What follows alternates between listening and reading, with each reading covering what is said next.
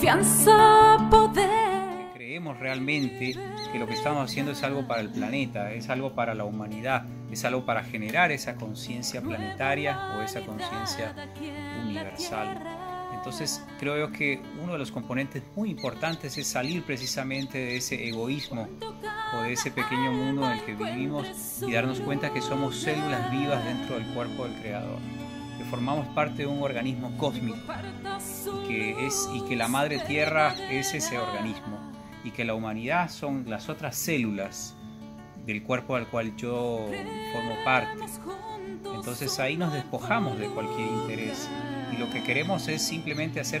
sentir a la gente, vivir, tocar corazones y generar ese campo unificado de conciencia que es lo que siempre se logra en la unificación a través del fuego, a través de las, eh, invocaciones, a través de los decretos, a través de los cantos, de toda la, la música, los tambores, los cuencos, los dons,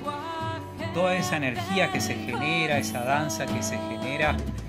es un instante, es un momento, son unas horas que lo vivimos y queda en nuestro corazón grabado. Y la invitación es para el domingo 24 de marzo a las 14 horas en el Cerro Pan de Azúcar. Te esperamos.